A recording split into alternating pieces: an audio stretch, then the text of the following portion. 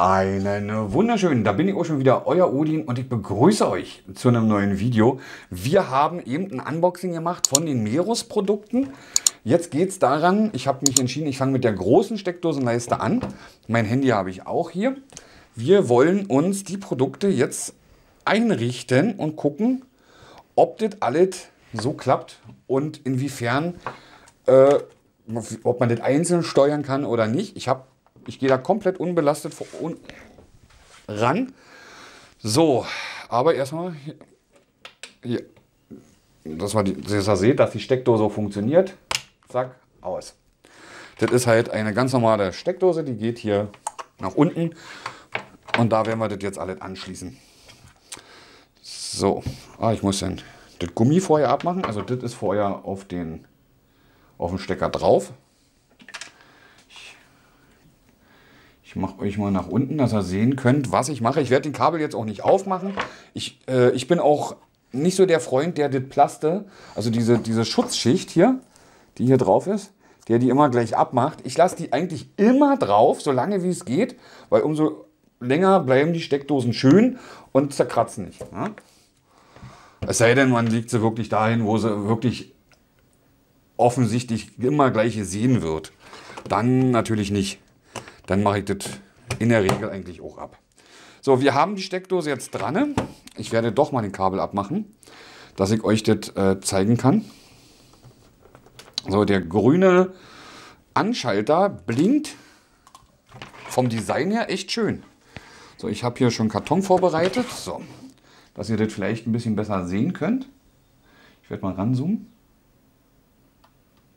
Falsche Taste, so.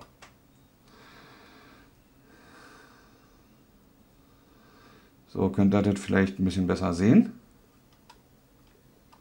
So, also hier oben blinkt es jetzt grün. Ich hoffe, ihr kommt, äh, kommt über die Cam gut rüber. So, ich öffne mir jetzt die Merus-App. Die habe ich mir hier schon runtergeladen. Da ist er. So, ich muss mich jetzt registrieren oder anmelden. Also registrieren. E-Mail-Adresse. Und ein Passwort muss ich eingeben. So, und registrieren. Speichern. Standort kann er ruhig aktivieren. Habe ich nichts zu verbergen. Jetzt installieren. Möchten Sie Geräte jetzt installieren? Ja. So, und jetzt gleich nach dem Starten fragt er mich, also ich habe mich registriert mit E-Mail-Adresse und Passwort, brauche nichts bestätigen oder so, ging gleich weiter. Und jetzt fragt er mich, was ich hiervon halt, ist auch komplett deutsch gewesen, was ich davon jetzt äh, installieren möchte oder aktivieren möchte. Also Lichtschalter, Steckdosenleisten und so was alles. Garagentüröffner haben sie übrigens auch. Mein Vater hat jetzt nicht so ein Garagentor, sonst hätte ich das auch gleich mitbestellt.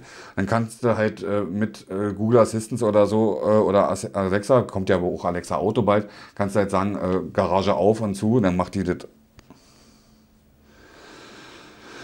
So, Smartphone. So, ähm, hier haben wir auch einmal mit drei und einmal mit vier und also damit ihr das vielleicht sehen könnt. Die obere ist die, die wir haben. Die da drunter hat vier Steckdosen, also normale Stecker und, wenn ich richtig gucke, vier USB. Ja, da könnt ihr euch mal gucken. Also ja mehrere im Angebot, die habe ich aber nicht gesehen gehabt. Es kann sein, dass die vielleicht jetzt demnächst erst ins Sortiment kommt. Ich wähle jetzt die an und dann sagt er mir schon an, was ich machen soll. Ja?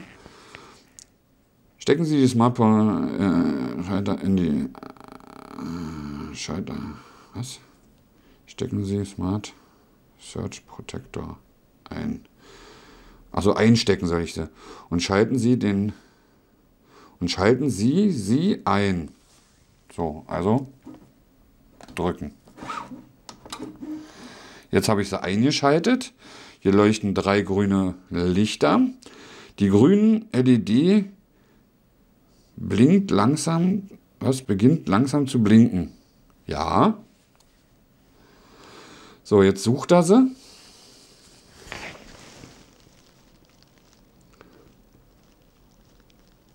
So, und scheint also jetzt schon zu gefunden zu haben. So, und jetzt können wir äh, dir einen Namen geben. Steckdosenleiste Büro.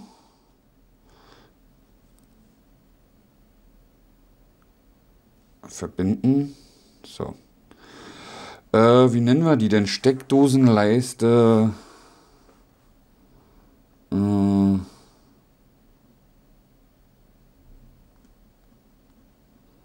Wohnzimmer. Ich nenne die jetzt einfach mal Wohnzimmer. Über weitere Namen kann man sich immer noch einen Kopf machen. So, passen Sie das Symbol an. Oh, geil. Also ich habe jetzt hier so ein Symbol. Ich kann aber auch ein Symbol anpassen. Machen Sie ein Foto aus Galerie auswählen. Zulassen. Galerie. Ach, da kann ich sogar eins aus der Galerie nutzen. Da können wir... Ich nehme jetzt einfach mal ein Image von mir. Ja. Einmalig. So. Aber das ist zu... Das ist zu groß. Das kommt nicht ganz rauf, aber wir können es ja mal testungsweise versuchen.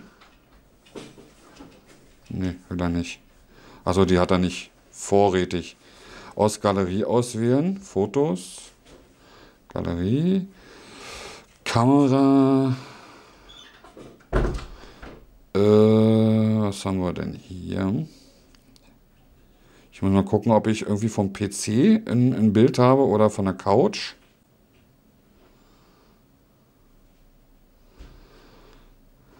Natürlich nicht. Ähm, doch, nehmen wir Couch. So, Couch. Immer. Und dann können wir Detail zuweisen. So, dann können wir dann halt zum Beispiel äh, das Foto da markieren, wo es ist. Und das soll ja da dann rauf auf die Couch. Zack. Und dann haben wir dann natürlich das Bild so. Finde ich eine gute Möglichkeit. Aber ich nehme mal das Standardbild jetzt einfach und sage weiter. Jetzt fragt er mich natürlich, mit wem ich verbunden werden möchte. Ähm, ja. Nicht wundern, bei mir stehen hier mehrere Geräte drin. Ne, man sieht hier nur eins. Okay. Also es funktioniert nur mit äh, 2,4 äh, Gigahertz. Das habe ich extra so, dass man das sehen kann. Und auch, weil viele Geräte mit äh, Probleme haben. Ähm, wartet mal, das machen wir mal so schnell. Das Problem ist zum Beispiel beim Fire TV. Äh, der Fire TV dritte Generation hat arge Probleme. Beim Cube ist es mir noch nicht so aufgefallen. Äh, wenn man 2,4 und 5 Gigahertz praktisch in der Fritzbox einmal hat. Also man hat einmal was zum Einstellen, Name und, und, und, und, und Passwort. Aber da hat manche Geräte wirklich arge Probleme. Bei mir habe ich das so gemacht, ich habe den Punkt, da gibt es ein Feld, was man klicken kann in der Fritzbox, 2,4 äh, und 5 GHz voneinander trennen. Die sind bei mir getrennt. Ich habe einen anderen Namen für das 2,4 GHz als für 2,5 und Passwort habe ich, glaube ich, aber beides gleich. Kann man aber auch anders machen. Ähm, bei mir steht dann halt Fritzbox 2,4 GHz oder Fritzbox 5,0 GHz. Und daran sehe ich, welche Gerät überhaupt 5 GHz unterstützt. Und ich habe keine Probleme, weil die Quellen, also die Funksignale in den Einstellungen voneinander getrennt wurden. Gibt es nämlich ganz viele Geräte, die arge Probleme mit haben. So. Also falls ihr so ein Problem habt, so könnt ihr das beheben. So. Also einfach mal die Quellen voneinander trennen. So. Dann muss ich jetzt natürlich 2,4 GHz auswählen. Ich muss mein Passwort eingeben.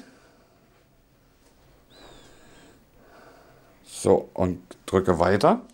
Jetzt äh, versucht er sich mit der Steckdosen, ach, hier ist gerade was passiert, hat Geräusche gemacht, zu verbinden. Jetzt warten wir einfach mal kurz ab. Also es blinkt jetzt hier oben schon nicht mehr. Die blinken nicht, die leuchten auch alle weiterhin. So, erledigt. So, und schon haben wir die Steckdosenleiste verbunden. Wir können jetzt hier oben auch auf den, hier oben auf so einen Stift drücken. Und dann können wir sie umbenennen. Switch 1, Switch 2, Switch 3. Ach so, die kann ich. Ah, cool. Die kann ich sogar äh, separat benennen. Äh, USB halt nur einmalig. Okay, das, das ist saugeil.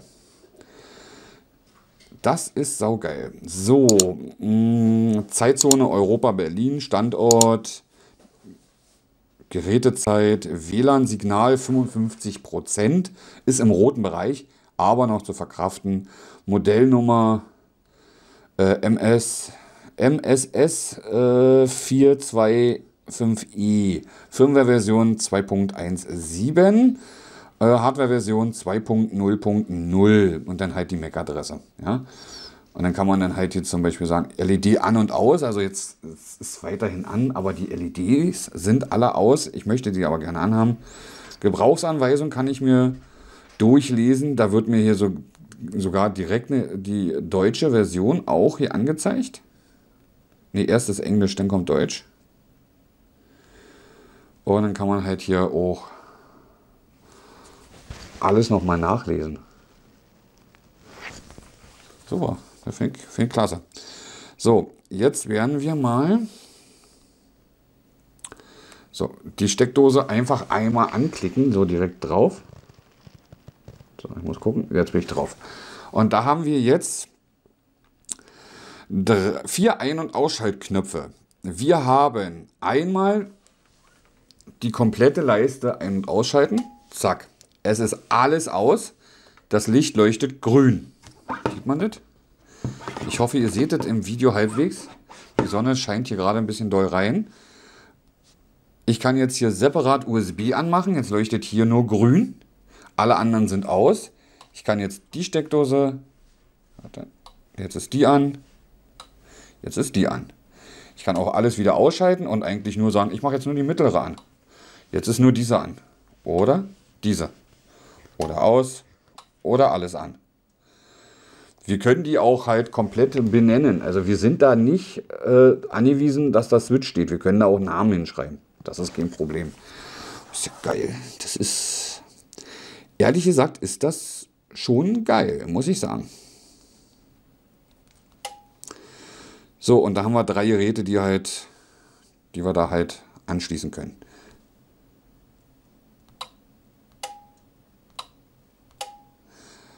Also Verzögerung gleich 0.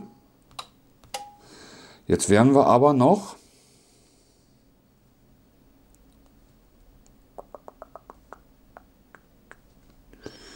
die Alexa-App öffnen. Warum öffnen wir jetzt die Alexa-App? Weil Alexa weiß ja trotzdem nicht, was sie machen soll. Oder? Alexa?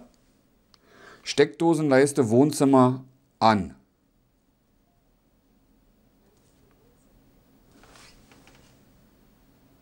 Die ist leise. Alexa, lauter.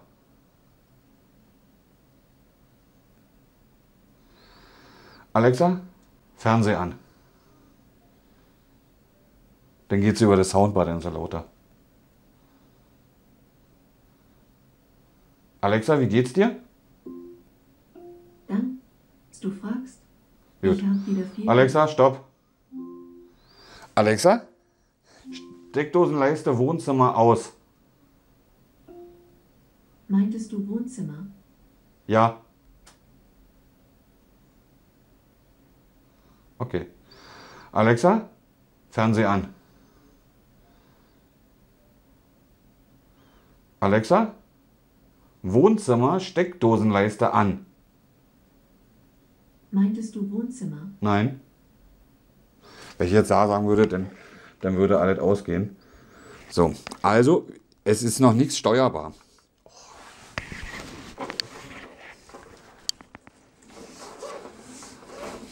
So.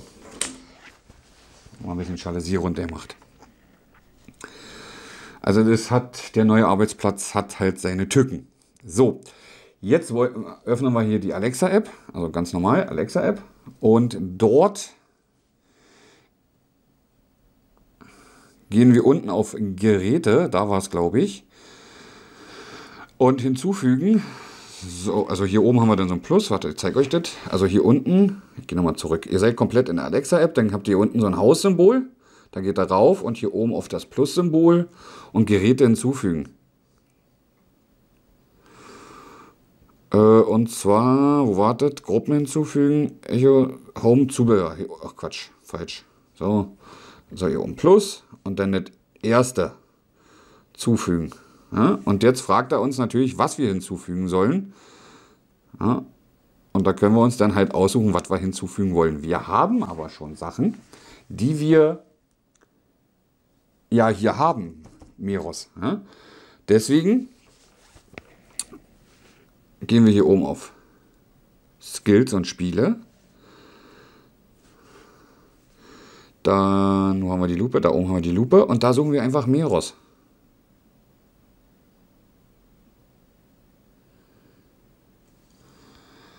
Ich habe mich verschrieben. Wo ist denn jetzt hier wieder? Ich muss mal so machen, Leute. Ich komme so nicht klar, wenn ich es hier auf der Seite habe. Meros. So. Und da haben wir dann Meros. Und zwar haben wir Smart Meros und Meros allgemein. Äh, ich nehme jetzt einfach mal Meros allgemein. Äh, bewertet, äh, steht dann da, von wem das ist. Äh, ich gucke mal bei der anderen. Vielen Dank für die Auswahl von Meros Produkten. Laden, okay, wir haben die zwei. Ich nehme jetzt einfach mal die oberste, die jetzt besser bewertet ist. So. Jetzt muss ich hier natürlich nach dem Aktivieren vom Skill muss ich jetzt mein E-Mail-Adresse und Passwort eingeben, was ich bei Meros eingegeben habe, wo ich mich auf der App registriert habe.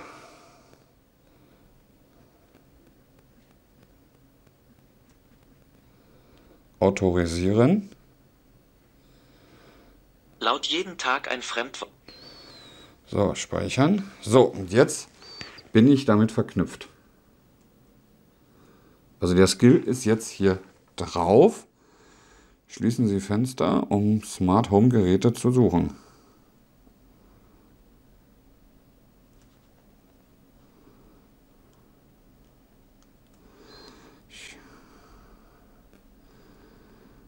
So.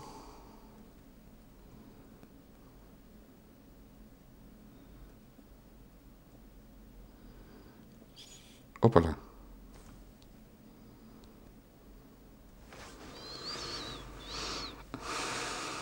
Verwalten. So.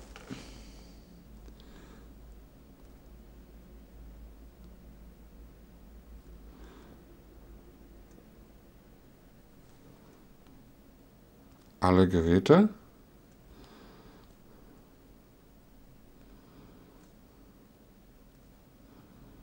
Ich gucke gerade mal, ob es vielleicht äh, diesmal automatisch mit dazu ist. Natürlich nicht.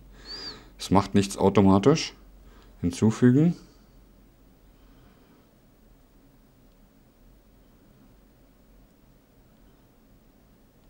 Steckdose, Meros, Gerät suchen. So, jetzt habe ich halt äh, Steckdose gesagt, dass ich ein Gerät hinzufügen will äh, und habe gesagt Steckdose und habe die Firma Meros ausgewählt.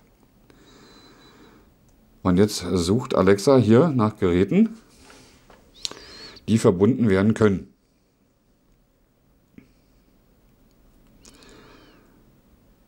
Dauert um, um die 45 Sekunden. Natürlich wird sie welche finden, weil in der Meros-App haben wir das Gerät ja schon eingerichtet und die Meros-Skill haben wir auch drauf. Und durch den Skill kriegt äh, Alexa halt die Information von Meros, was das für eine Leiste ist und was man mitmachen kann. Und nimmt die Kommandos entgegen und leitet die halt zur Steckdose weiter, sozusagen. Also eigentlich Alexa, aber äh, es, es funktioniert halt da. Fünf Geräte wurden gefunden. Fünf? Und verbunden. Achso, eins, zwei, drei, vier und alles insgesamt Nummer 5. So ist das. So. Zack. Wir haben, ja, so wie ich es euch gesagt habe, wir haben Wohnzimmer Steckdosenleiste ganz unten stehen. Das ist die gesamte Steckdosenleiste. Und dann haben wir praktisch Switch 3, USB, Switch 1 und Switch 2. Also 1, 2, 3 und USB. Und halt das komplette Gerät. So, haben wir. So. Und jetzt können wir einfach sagen, wartet, ich muss nochmal nach, nachgucken, nicht, dass ich das Falsche sage.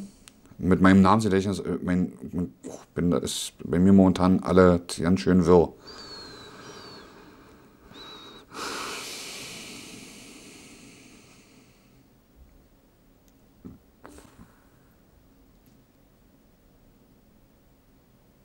Wohnzimmer, genau, Wohnzimmer war das. Hier haben wir so auch die neuen Geräte. Die sind ja auch alle durcheinander in der App. Also da muss Amazon sich mal was einfallen lassen, dass man irgendwie Kategorien machen kann oder dass man halt hier suchen könnte. Wohnzimmer Steckdosenleiste. Okay, Alexa. Alexa. Wohnzimmer Steckdosenleiste an. Und jetzt geht alles an. Jetzt können wir sagen, Alexa, Switch 3 aus. Aus. Alexa, USB aus. Alexa, USB aus. Und USB ist aus. Alexa, Switch 1 aus. Alexa, Switch 3 an. Alexa, Wohnzimmer Steckdosenleiste aus. Und alles ist aus. Und das ist eigentlich das ganze Geheimnis. Funktioniert super. Ist ein also ich hätte jetzt auch nicht gedacht, dass man wirklich alle drei separat an- und ausschalten kann. Ähm, es funktioniert, aber habe ich euch gezeigt. Wir können die einzelnen USB nicht an- und ausmachen, aber alle vier zusammen gehen an oder aus. Also ihr habt hier verschiedene Möglichkeiten. Also einfach alles an, Switch 1, Switch 2, Switch 3, USB an, könnt ihr euch aussuchen oder alles aus. Ähm, ihr müsst die auch jetzt nicht Switch und USB, also USB-Wegs trotzdem lassen. Äh, es sei denn, ich hole mir dann irgendwann mal noch eine Steckdose, wo ich auch USB dran habe. Da muss ich die dann nennen USB-PC, USB-Couch oder USB-Fernseh oder was weiß ich. Dass man die dann untereinander, äh, voneinander unterscheiden kann. Die Switch, die kann man ja sowieso selber benennen. Also ihr könnt jetzt zum Beispiel, wenn ihr, was weiß ich, ähm, Ihr braucht jetzt die ganze Steckdosenleiste nicht. Ihr habt jetzt hier einen Wandadapter drin. Ich nehme jetzt einfach mal den hier. So. Alexa, Switch 1 an. So, der ist jetzt an. So. Ich werde euch mal rauszoomen. So. Ja, dadurch können wir halt jetzt hier unser Licht hier anmachen. Alexa, Switch 1 aus.